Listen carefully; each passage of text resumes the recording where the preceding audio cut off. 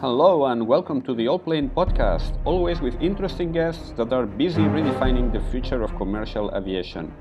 As usual, before I introduce today's guest, let me remind you that you can find all the previous episodes of this podcast, as well as many other aviation stories, on the Allplane website. That's allplane.tv, A L L P L A N E dot TV. Now, let's switch to today's episode. If you don't live in Norway, you might not be familiar with an airline called Widerøe. Uh, excuse me, any Norwegian speakers out there, if I don't pronounce it correctly, because I'm going to be saying this name quite, quite a few times today. Widerøe is Norway's oldest airline, 90 years and counting, and its core business is connecting the country, linking the many regional airports scattered all over Norway, a country with plenty of mountains, fjords, and islands, which often make land transportation impractical along the I think it's about more than a thousand miles of coastline.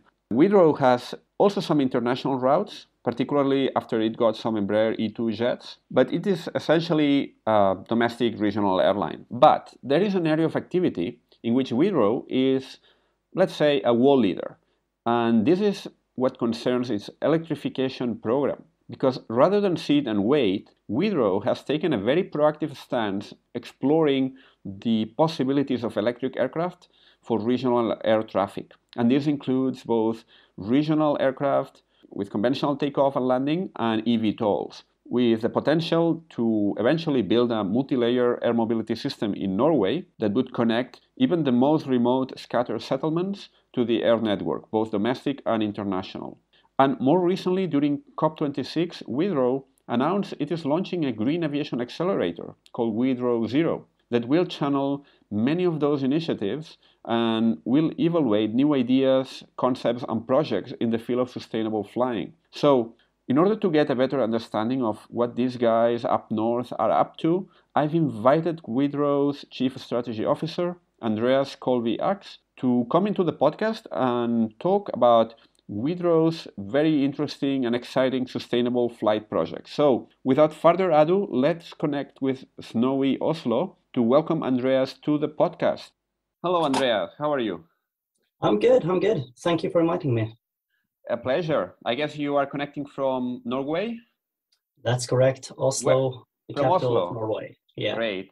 I guess you're having also like a cold snap now, lots of snow and stuff. Yeah, we got the snow here in Oslo two days ago. A lot of snow. Um, as every year, it comes as a surprise, even to Norwegians. So really? uh, a bit chaotic in the traffic now. But, uh, just, but, uh, just in time for a perfect Scandinavian Christmas.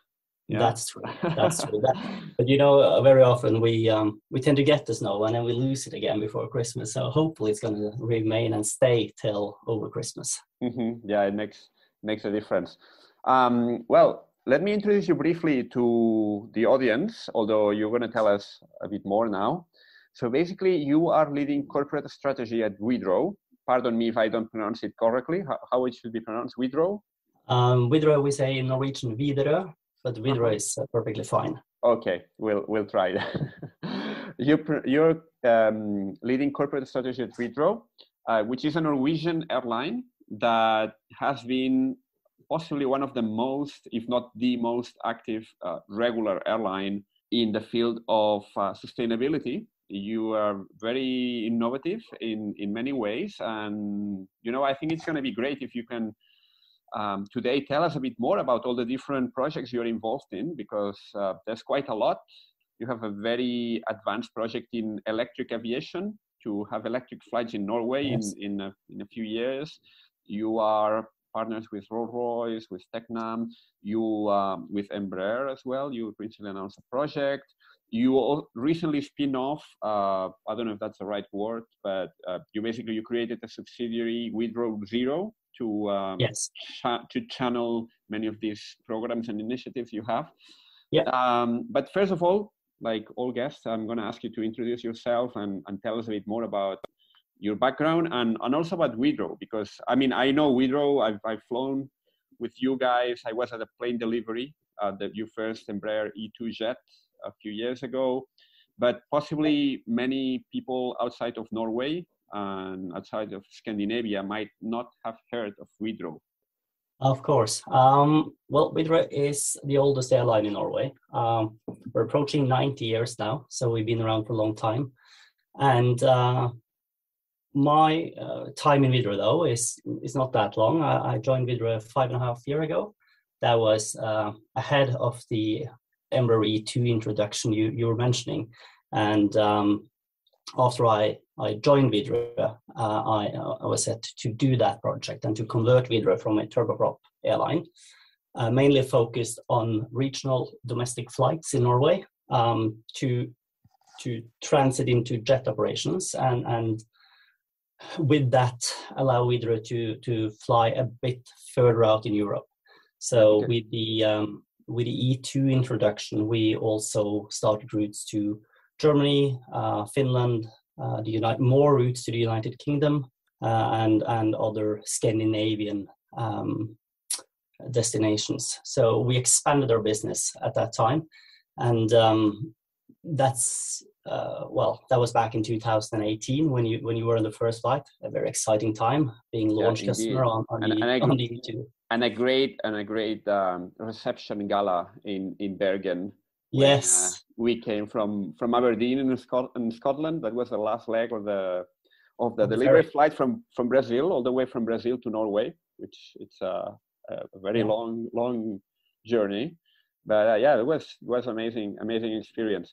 Until recently, you were basically very focused on the Norwegian domestic market with relatively small um, aircraft, um, flying short, very short sectors like places in north of Norway. I mean, it's obvious from the map that uh, air transport is, is essential for many of these communities. It's uh, it's a, pretty much the only way for people to move around in, in the northern fjords, right? So you, you were fulfilling that role you are you are fulfilled yeah no that's true i mean uh, our main fo- focus has always been and it, it's still like that uh, on connecting the rural parts of norway uh, with the bigger places and uh, the reason why we have a role to play is because norway is a mountainous country also with a lot of fjords a lot of islands um, railways and and highways are very limited in this country, and it can take a long time to to move around without uh, the option of flying. So for that particular reason, we we are operating a, a, a vast number of small airports around Norway, where the mission is to connect the small communities.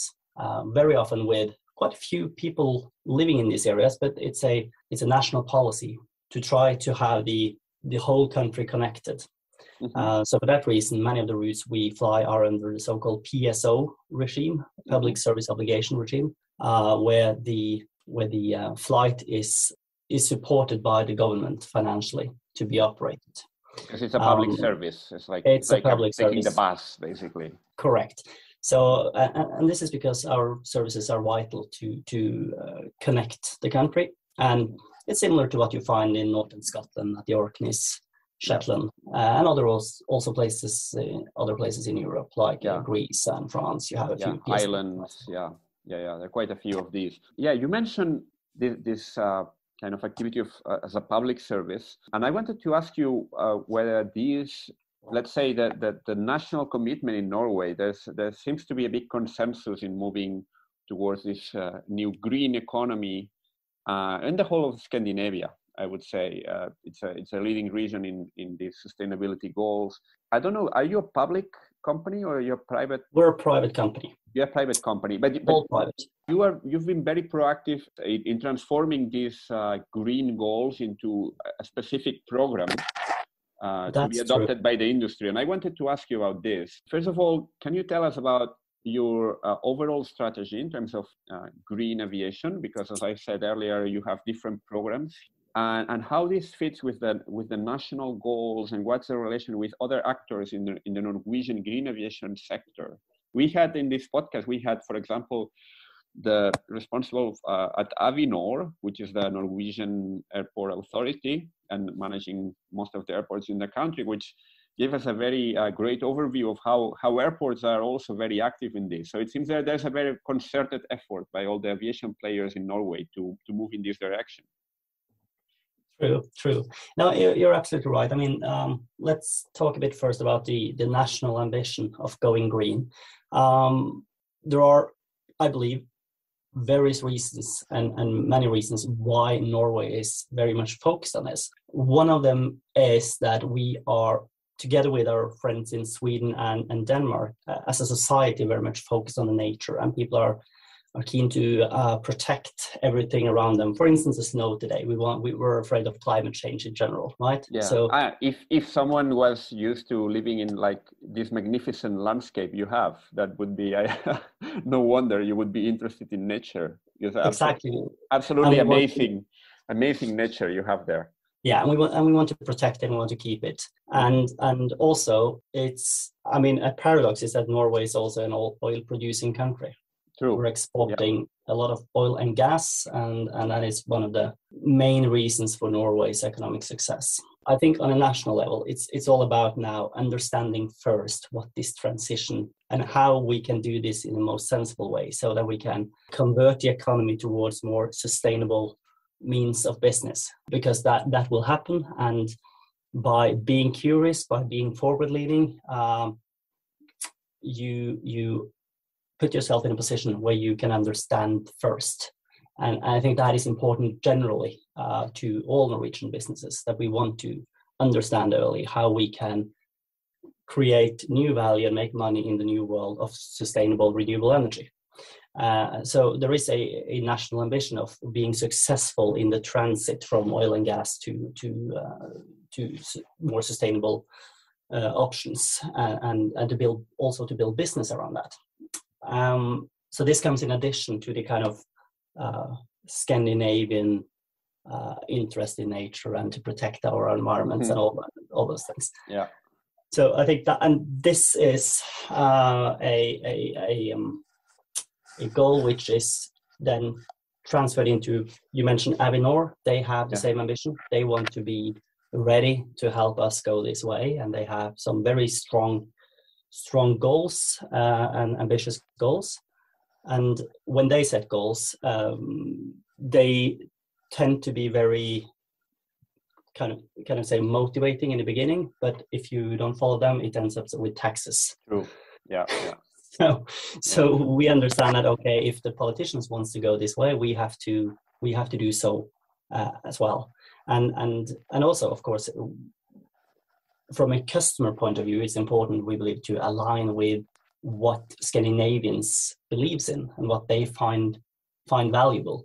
So also to be a company which reflects their their visions of being more sustainable in their, their ways of living is important to them. Yeah, but it seems that you you've been as a, as a company, Widerøe, you've you've gone a bit above and beyond uh, even other companies in Scandinavia in this field because we have seen other other airlines, for example, have adopted um, sustainable aviation fuel purchase policies, stuff like that. But um, you, from a very um, early moment, because that's not something that came out this year, but it's already been in the making for, for a number of years already.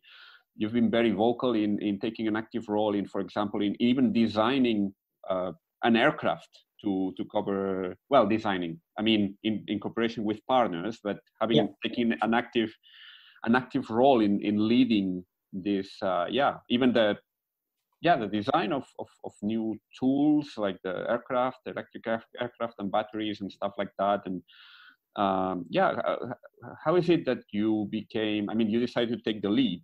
Because you yeah. obviously you're a you're a large air, air, airline in norway but in global context you are not a huge airline. Uh, oh that's true. That's true. So that's yeah that makes it, makes it interesting that um, yeah you become yeah. sort of a reference in this in this field yeah and, and uh, the reason for that is that we we do believe we have a role to play mm-hmm. we have an important role to play because first of all the network we operate is probably uh, the best test bed for new technologies many of the flights we fly are shorter than 300 kilometers Mm-hmm. Actually, on the short takeoff and landing network, which is the, the bus you're you're referring to in the beginning, uh, those scheduled services to connect the small communities. Very often, it's all about jumping a fjord, jumping in and out of an island. Uh, very short trips. Um, 74% of them are shorter than 300 kilometers. which means that we can do very many of our daily services with the technology being available very soon. Yep. So we thought, okay, we have a role to play, and we want to to help the industry convert and transit by being the test bed. Mhm. Uh, but it's also and and uh, it's also an important part of the history that we we are in a situation now where we operate Dash 8 100s and 200s uh, on these uh, these smaller airports, and when you are now approaching a technology transition, uh, you would rather try to wait for the new technology to come along than to Mhm. invest heavily in existing technology. Yeah. So it's also about fleet strategy. You mentioned earlier. Um, this is a, a a decision we made uh, a few years ago, where we were about to to uh, replace the existing fleet with conventional aircraft. Yeah. But then we realized that okay, if we do so, the normal process of acquiring an aircraft takes a long time, and then you are stuck with the aircraft for a very long time. True. So if we do this, we will be probably operating conventional aircraft until 2040, perhaps. Uh huh. Yeah. Because the, the, the current fleet is due for replacement this decade, right? Before the end of this decade. well, well, the thing we did because we we figured out okay, we, we if we don't want to acquire new old type aircraft, it could be uh, the ATR 42S, for instance. Mhm. Uh, we would need to extend the lifetime of the existing fleet. Mhm. So, in parallel with being very much focused on new technology and try to kind of be the leading edge airline on new technology, we decided to life extend the Mhm. existing fleet. Okay. So, um, for instance, we've we've upped the number of cycles on the Dash 8 in in collaboration with the OEM from 80 to 120,000 cycles. Uh-huh. Uh, is very cycle intensive, we, we say. Yeah. Uh, we, we operate very short flights, so Yeah. our aircraft are typically outflown on cycles before flight hours. Mhm. So for that reason, we could we could with some some modification up the number of allowed flights, uh, allowed cycles from 80 to 120,000, and it may even be possible to extend that even further. Those are things we're discussing now. Um, and also by acquiring more Dash 8, 100, and 200 aircraft, we could reduce the, utilization on average per aircraft. Mhm. And now we are in, in, in a place where we can operate the Dash 8 fleet beyond one beyond 2030. Okay. H- How, many aircraft? enough. How many aircraft are we talking about? Uh, we have in total 46 aircraft. That was the last count. Yeah. Those are the Embraer E2s and uh, the Dash 8 Q400s used on regional traffic, and also Dash 8 300s, a few of them. Yeah. Uh, but then we have some 25 or 26 Dash 8 100s and 200s. Mhm. And those are the ones we're focused on replacing. Yeah. By adding a few more aircraft, Mhm. and up the number of cycles, we we found a way to bridge, we believe, this technology trans- transition, and um, we landed on this strategy instead of Mhm. replacing them all in the coming two to three to four years with with conventional type aircraft. Mhm. So the strategy is to replace this aircraft, and in, in practical terms, you have a, a partnership with uh, Rolls Royce, I think, that has a facility in Norway, Mhm. and an Italian aircraft manufacturer called Tecnam. Yeah. Who uh, kind of develop this electric. Uh, it's going to be all electric aircraft, right? Mhm. For for this segment of the market. What can you tell us about this? What's the what, what are the time frames for this project? What's the status, and what what are the goals you are aiming to achieve?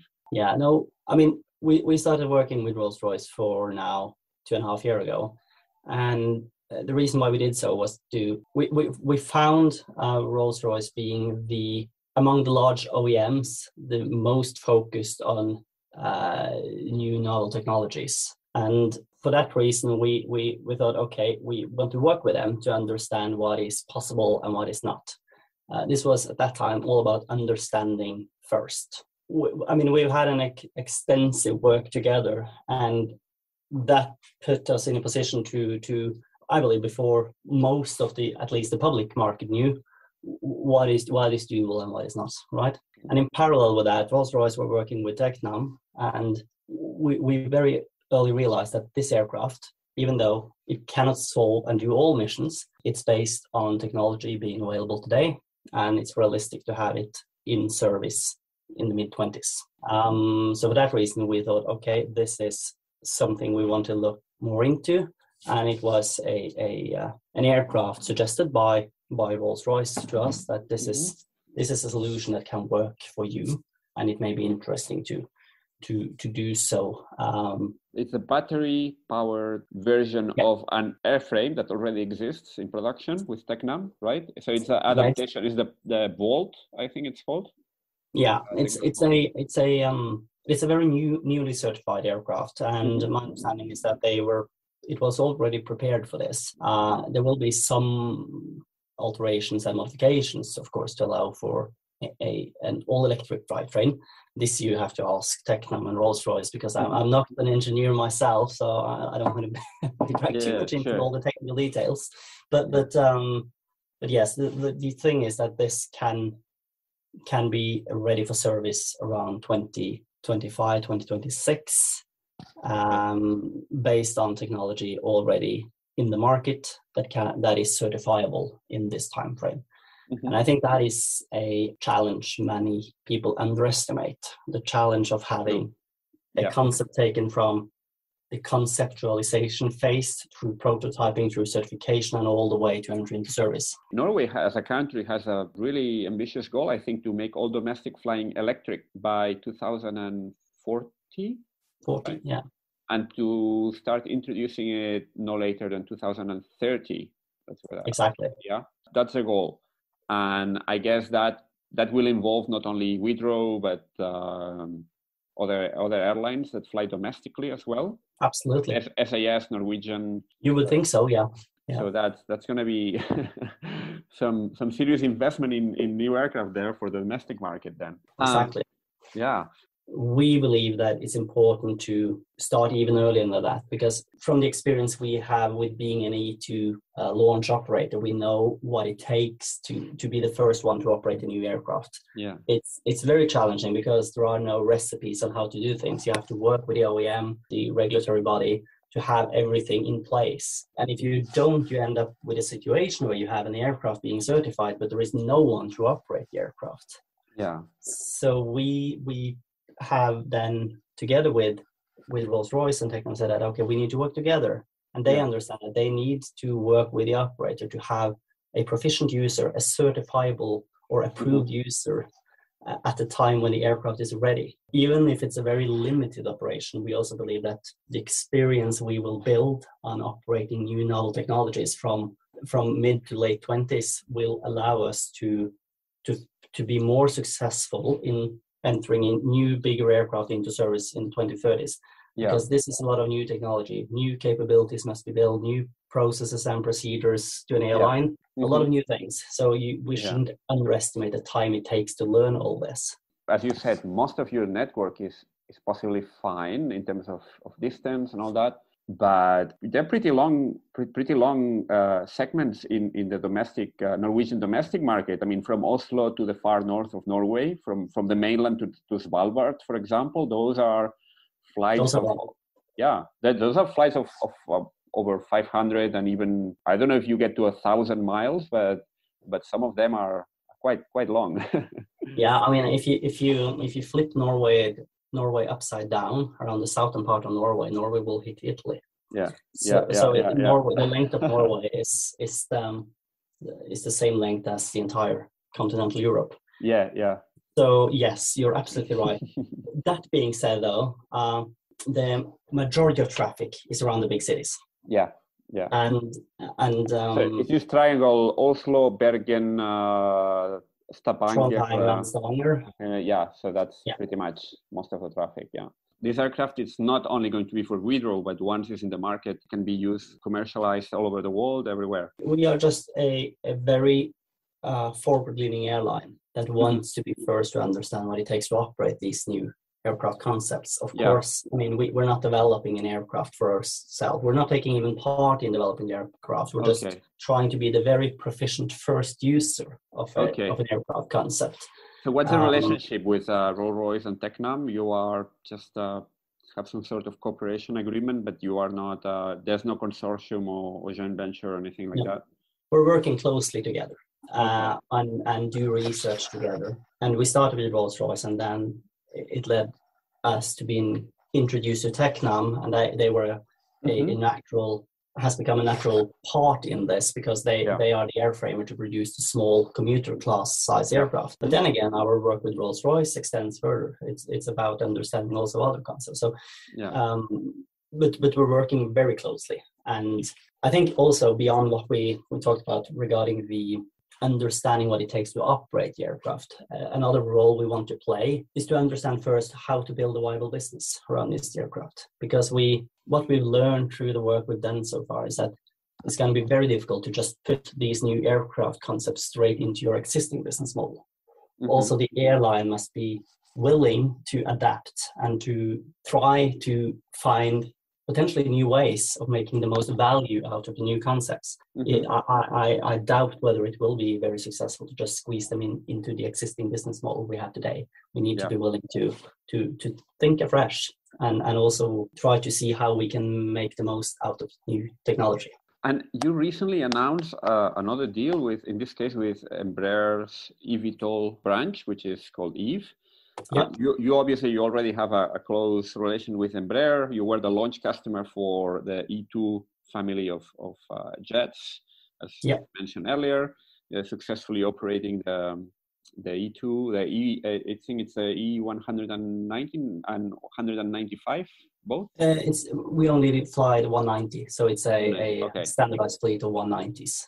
Okay, and now you have this uh, this agreement, which I read. I read the the announcement, but um, there was not much uh, more information beyond that, that that fact that you were cooperating or were planning to cooperate with Embraer Eve. How Yeah. does the eVTOL technology fit into this all this that we were discussing the the regional flights and also the other electric aircraft you are involved in? It is in my belief that with the eVTOLs being developed, there is some sort of a merge coming now between what is today considered rotary wing operations and fixed wing operations. And with the estimates of the eVTOLs capabilities, we believe they can potentially do a good job in Norway, even if they were designed for urban air mobility or over London or Paris or Mhm. or uh, Sao Paulo, uh, they are probably capable capable of doing missions also in the rural areas. Uh, they're more than capable of jumping in and out to an island, crossing a fjord, Yeah. and for that reason, we we decided that okay, we, we cannot just consider eVTOLs as something we we we don't have interest in. We have to actually look more into how they can potentially service our customer in a different but perhaps better way. It's uh, like a Um, multi-layer, um, so you can go then from the very local to the regional stage, and and even to the international with the with the E2s and, and Yeah. other aircraft. So you would be able to offer pretty much a door-to-door, uh, door-to-door could be, yeah. service uh, wherever you want to go in Norway. Yeah, and, and, and this is, I mean, we, we, we want to understand what role the eVTOLs will play um, because the eVTOLs can do potentially many, many of the missions we do today. And as you said, they can also potentially do other missions. Mhm. which may extend our business. Uh, there is a debate in Norway going on, and I think it's the same debate in many countries about whether air transportation should be replaced by road and rail. Um, we want to see a future where uh, people travel more in the air, where air mobility is the, is the way to go. And if we can solve this sustainability struggle uh, or challenge, and also find new ways of providing the best service to the customers, we Mhm. believe that okay, air mobility will be the preference because the service we can provide is faster and hopefully also at a cost which is acceptable. Yeah, and powered by hydropower, huh? because in Norway pretty much all the electricity is produced hydropower. Yeah, Yeah. not some 99% of all power in Norway all electric power in Norway is is uh, fossil free from Yeah. waterfalls. Yeah, yeah, yeah. So we want to want to be open to see if they can play a role, and and with Eve, they also found interest in seeing how these vehicles can be used in a diff maybe a somewhat different application than what most people expect them to do. But my view is that they will enter into service sooner in a rural application, jumping from one island to another, than Yeah. from one rooftop to another rooftop in a big city Yeah. Mhm. because of uh, yeah there are many constraints and limitations in a city which you don't have in the more rural areas so we, we want to explore this together with eve how air mobility can be redefined i'd Yeah. say in norway the and I guess th- there is also the maritime and offshore applications as well. With Norway is uh, is another important part of the economy, which I guess I don't know if they have right now. They have enough range for many of these, but but that's definitely something that the rotary wing is doing now in Norway. I mean, when you land in Bergen, you see all these helicopters taking off all the time for the offshore and, and maritime and, and rescue and all these type of things. So oh you're absolutely right there are many use cases which are interesting to look into yeah, Uh, but yeah. I, I cannot tell which one is the most viable one and which one Mhm. we want to focus on now. But that that's what we want to find out how how, how eVTOLs may play a role uh, Mhm. in the air mobility. Are there any uh, time frames or milestones right now in this eVTOL aspect of the business, or is at the moment it's very early stage to tell? It, it's very very early stage, and I mean, it, it, again, it, we are not the company producing the technology, but what we're saying that we will be if we find this a viable business, we will be the player that is ready to operate the aircraft when the aircraft itself is certified. So again, we want to play the same role, being the test bed Yeah. uh, for new technology and being the very proficient partner that can build a certifiable or approvable AOC. Yeah. And also the company that can work on developing business models Mm-hmm. uh, which fits with these new concepts. A- And the latter part is perhaps the, the well the main part of our role to play, understand the business modeling. What about sustainable aviation fuel? Do you have also some policies in place or some goals here? Well, we, we I say we are um, supporting all the initiatives going on, but we figured out okay, we in our position have a more important role to play when it comes to new and novel technologies. So I, I very often got I very often get this question because we're not too vocal about this. We're supporting it, but we also see that there is a challenge in providing enough sustainable aviation fuels. So we believe that that should perhaps be used more on uh, in the areas where it's going to take longer before new technology can allow for zero emission travels. So for that reason, we leave it to the to the wide body carriers and those traveling intercontinental flights Yeah, to, to You- be more yeah. focused on it. yeah, you have a better, a better, a better shot at replacing uh, the the conventional propulsion with other more more disruptive things than other airlines. Yeah, definitely. That, that Exactly. Don't have, don't have that that option. You were at uh, COP 26 a few days ago. When you were there, you presented something called Widerøe Zero, uh, Correct. which I would like you to tell us a bit more about this because I, from what I understand, it's a sort of, let's say, uh, an entity that Yeah, is going to channel many of these efforts and projects that you have in the field of sustainability. But um, yeah, but my my knowledge of this initiative uh, pretty much ends there. So, so that's one of the one of the goals I had in this call is also to ask you about this Widerøe Zero and how it works, what is it, and and what what goals you guys have.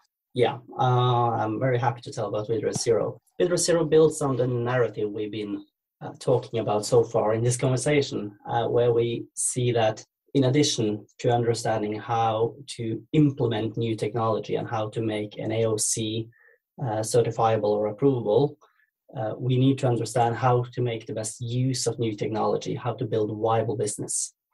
And that can be quite challenging in an existing airlines in an existing airline or in, in any existing entity. So for that reason, we figured out, okay, we need to, to carve out and create a separate entity that is free to think afresh.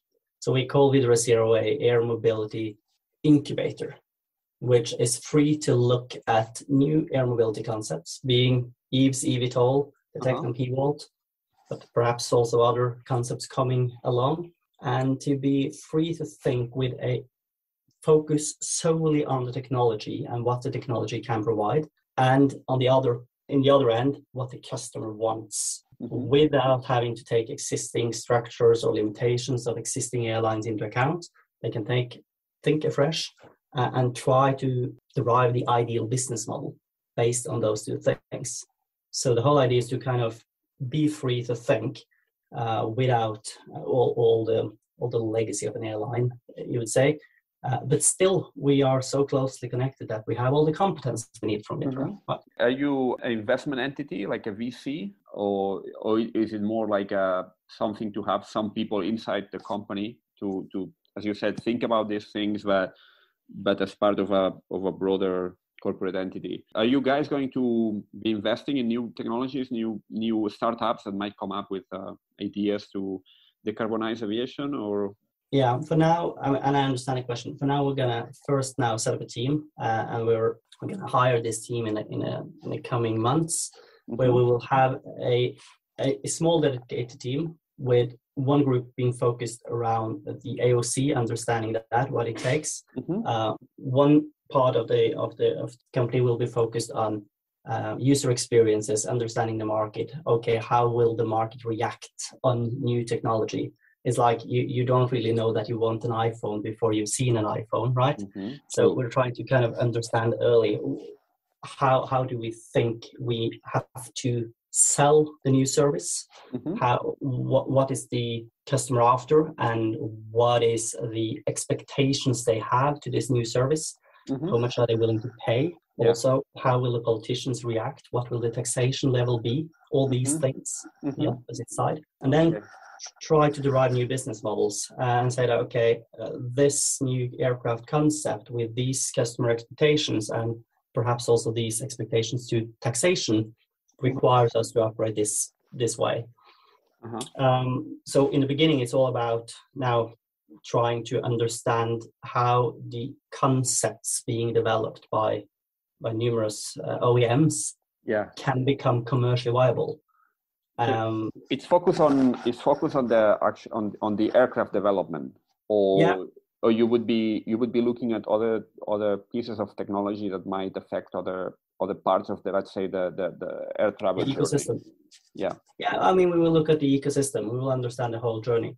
Mm-hmm. Um, so so that will be the focus to to think free of of existing structures and and to see how how we can build viable business around the new concepts uh, being developed. And that is important because if you cannot tell investors how this may become well, uh, a viable business it's important to have people investing in them. So so then we're then we have a role to play in, in not only finding how you can operate an aircraft but also yeah. how you can build viable business and then invest mm-hmm. in these concepts.